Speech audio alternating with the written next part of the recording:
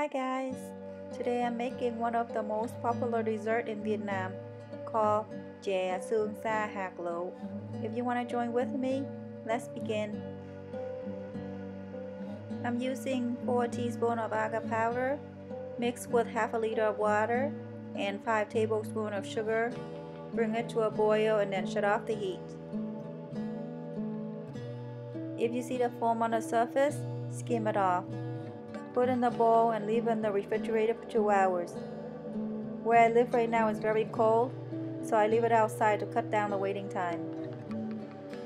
When you see the jelly is hard like this, that means it's ready. Cut the jelly into thin strips like this.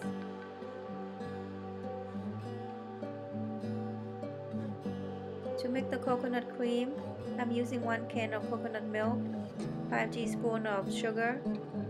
Put on low heat and mix well. To thicken the coconut milk, I'm using 1 teaspoon of tapioca starch mixed with 2 teaspoon of water. Put it in the coconut milk, stir well, put in a bowl to let it cool. Next, to make the mung bean paste, I'm using half a cup of mung bean. Rinse with water until the water becomes clear. Cook the mung bean with 2 cups of water until the mung bean becomes soft like this. Shut off the heat. Drain out any excess water. Put the mung bean in the blender with 5 teaspoons of sugar and blend it. Because there's no liquid in it, I have to stop the blender a few times and use a spoon to mix the mung bean up and then continue on the blending. That way my mung bean come out nice and smooth. To make the syrup, I cook 2 cups of water with 3 thirds of a cup of sugar. Bring it to a boil, then put in a bowl to let it cool. To make the pomegranate seeds, I'm using 1 can of water chestnut and cut into small pieces.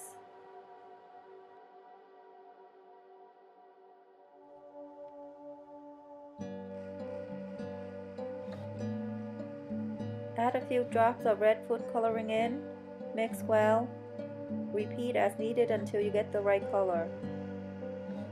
Coat the water chestnut with tapioca starch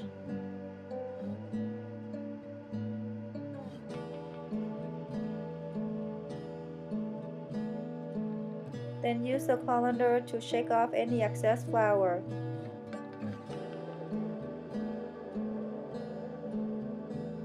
Put the chestnut in the boiling water. Quickly stir it gently so it doesn't stick together. When you see it start to float to the surface, set off the heat. Remove it and put it in the ice water. Let's check this out. Does it look like pomegranate seeds? I think it does.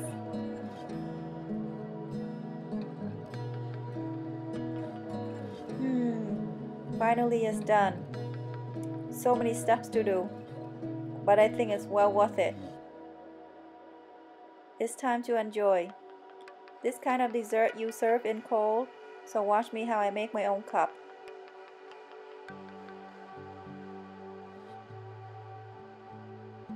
For this kind of dessert, nobody used the banana flavor, but I like to use it because it tastes really good. I think you should try.